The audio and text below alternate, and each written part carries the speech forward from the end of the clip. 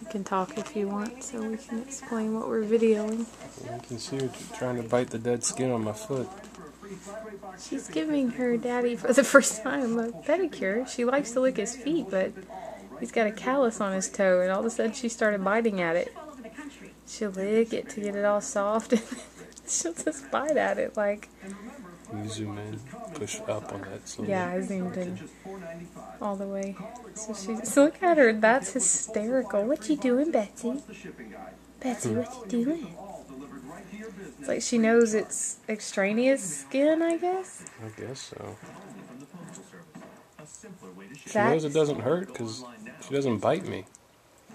Otherwise, you know. Yeah, that's so weird.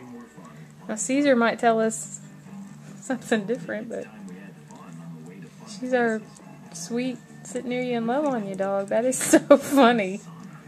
Kylie, what you thinking about food?